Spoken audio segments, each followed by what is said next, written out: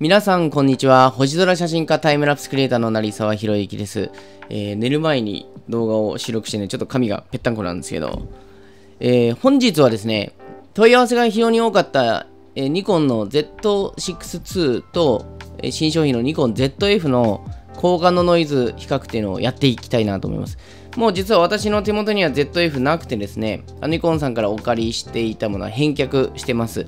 で、しばらく使わせていただいて、あの自分もこう画像処理とか進めながらね、え写真どんな感じかなっていうのを進めていきました。やっぱりこの撮影していた時の印象と画像処理進めていくと分かる印象と変わってくるので、まあその辺の、えー、精査って今日の動画でできたらいいかなと思うんですけど、いいニュースと悪いニュースとあるかな？うん。あの、そう、全体的に総評としてはすごくいいカメラだったんですけど、1点ですね、ちょっと気になるところありましたかね。それ、まあ、包み隠さずお伝えしたいなと思うんですけども、気になる人と気にならない人といるかな。まあ、とりあえず見てみましょうか。はい、それでは行ってみましょう。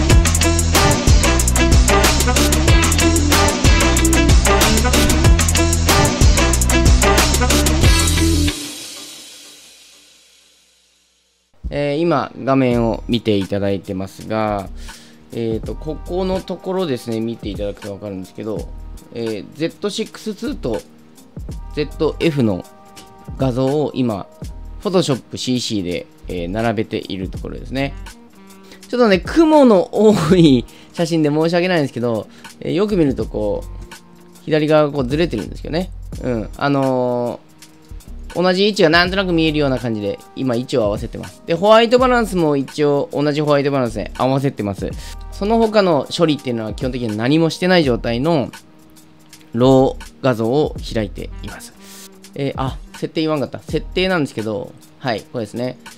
えー、15秒2.86400、えー、ニコン Z6 で、ニコール1420の2.8を使って写真撮ってますね。で、ZF の方も同じ設定で撮ってます。はい、ZF1420 の2.8、えー、6400、2.8、15秒という設定でございます。はい。で、これらの写真見てみましょうか。はい。拡大していきます。こんぐらいでいいかな。えー、Z6-2 ZF、Z6、ZF、Z6-2、ZF、Z6-2、ZF。違い、わかります？うんとね、めっちゃ細かいんですけど、ZF の方が良くなってますね。えっ、ー、とね、この辺とか見てれば分かる。この辺とかこの辺の、なんか黒いブチブチのところ見ていただければ分かると思うんですけど、こういうね、黒いブチブチのやつ。えー、Z6 であったのが ZF だと消えるんですよね。うん、ちょっと、もうちょっと拡大してみる？こうかな ?Z6、ZF、Z6、ZF。はい、Z6、ZF。あの、ZF の方がピントがちょっと甘めに感じるんですけど、まあ、雲の影響かもしれないですね。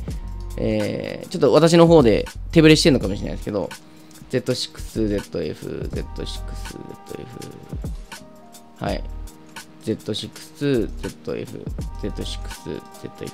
非常にビビタルさに感じるかもしれませんが、上がってますね。やっぱね、小画の性能はね、ノイズは少なくなってます。Z6-2 がね、もう十分いいんすよ。うん。結構ね、これ気にする人多いんですけど、もう Z6 で十分いいんですよね。すごいあれノイズ少ないもん。で、まあさらにノイズ少なくなってますけど、星で今やってますから、夜景とか撮影するとまたね、違ってくるんだとは思いますけども、とりあえず、えー、今見たデータの限りでも良くなってますね。で特にこう今、ハイライト側っていうか、星で言うと空の部分で見ましたけど、シャドウノイズとかの方が減ってる印象かな。うん。風景部分のノイズとかの方がなんか減ってる印象で、えー、確実にノイズは少なくなってるというふうに考えていいと思います。まあ、ぶっちゃけ私の意見としては、そんなに大きく大差ないかな。あのね、撮影してるときはね、液晶モニターの中で拡大して見てるときは、あ、結構違うなと思ったんですよ。でも、ローで開いてみると、こうやってパソコンで開いてみると、あー、こんなもんかっていう感じですかね。とりあえず、いいニュースっていうのは、ノイズ減ってますということですね。で、次、悪いニュースいきましょうね。はい。今、確認しててもう気づいた方いらっしゃると思うんですけど、もう一回いきますね。えー、Z62、ZF、Z62、ZF、Z62、ZF。なんか星に色ついてるの分かります？これ Z62、ごめんなさい。この辺、なんか黄色い星ですよね。まあ、星は黄色い星ってありますからいいんですよ。で、ZF になると、なんかグリーンとか増えるんですよね。グリーン系の星っていうか、なんか今この写真では、このホワイトバランスではグリーンとかブルーの星がなんか増えてるような気がしますね。イエローがなくなってますね。この辺とか顕著ですよ。そう、星にね、色づきがあるんですよ。うん。で、他の画像を見てみましょうか。こっちの写真かな？こっちの画像。はい。はい、こっちの画像で見てみます。これも、一応、えっ、ー、と、Z6ZF、って感じで、これずれてますけど、星の位置で合わせてますから、Z6 と ZF ですね。はい。こんな感じです。で、これを、この写真は、あの、周辺原稿具合が変わってるのが分かる通りですね、違うレンズで撮影してるんですけども、ちょっと中心像だけ見てみますね。Z6、ZF、Z6、ZF、Z6、ZF。はい、これ今ちょっとサイドを上げてる状態なんですけど、この写真だとそんな気にならないですよね。うん、ホワイトバランスもよるのかなと思うんですけど、ただね、えー、違う写真もう一回見せますね。はい、この写真。何の変哲もない。はい。えー、ZF ニッコール1420の 2.8S で撮った写真ですね。6402.85秒。で、右側のパラメータ何も、はい、いじってません。で、拡大しますよ。これ結構気になりません？ちょっとサイド上げてみますね。ビヨッと。ほら、この、結構これ緑とか青とか多いでしょう。条件によるのかもしれないんですけど、こういうのがね、出るんですよ。あの、他社のカメラであったグリーンスター現象とかに近いのかなと思います。よくそのグリーンスターとかってノイズリアクション外せばなくなるんじゃないですかみたいな話なんですけど、それはね、ちょっとね、試さなかったんですよ。カメラの設定で、えー、交換のノイズアクションは標準かな？デフォルトままで撮影していたと思います。それをなしにすればこれがなくなるかっていう推測もあるんですけど、多分自分の経験上なくならないんですよね、これね。うん、結構な色づきをしていまして、もちろんここから画像処理進めていきますから、だんだんこれが気になってくるんですよね。これ、気になる人といない人といらっしゃると思います。引いてみて、いや、そんなのわかんねえよっていう人の方が多いかもしれません。星空を専門に撮ってる人ほど気になるんじゃないかなと思います。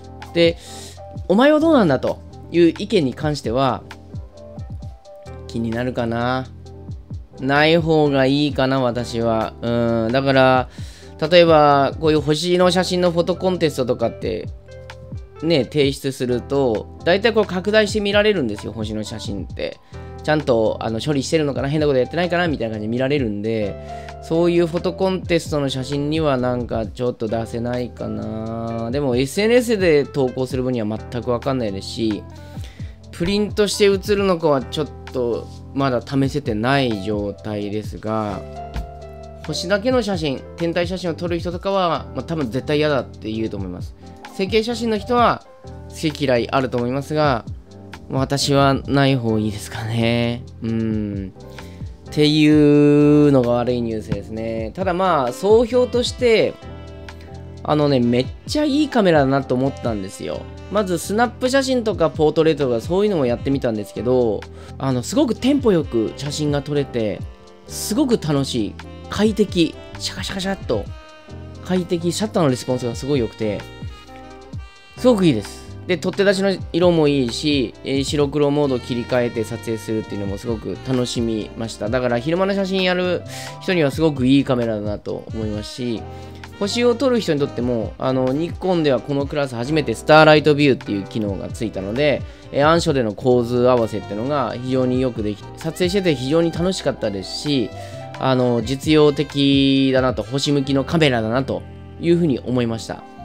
ただ人によってはこのグリーンスターが気になりますよと。まあ、こうやって写真今表示、いろいろ表示してますけども、あのー、多分この画面で見る分には全くわかんないと思うんですよ。この動画一応 4K で撮ってますんで、まあ800万画素の状態で見れると思うんですけど、そんなに気にならないのかなと思うんですけど、やっぱり全体的なカラーバランスがなんかちょっと緑を感じるというか、青を感じるというか、そういう感じにはなってしまうのは、あの、その、星の色づき現象のせいなのかなという感じですね。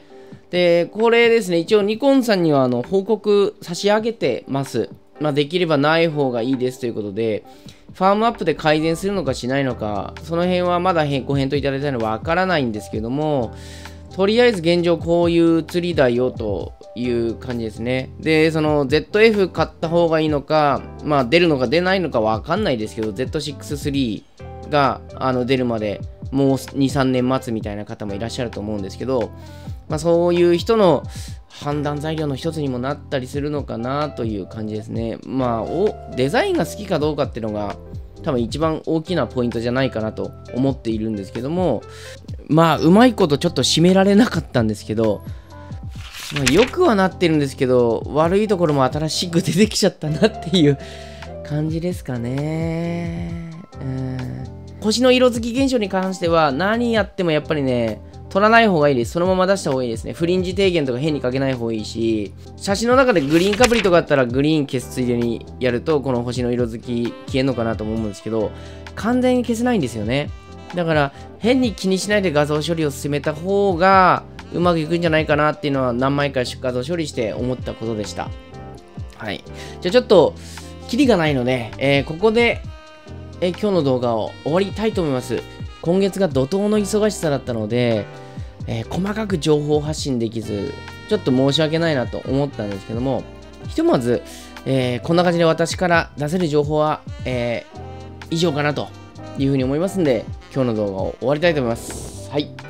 それでは、えー、また次の動画でお会いしましょう。さよならバイバイしたっけねどうもどうもしたっけ？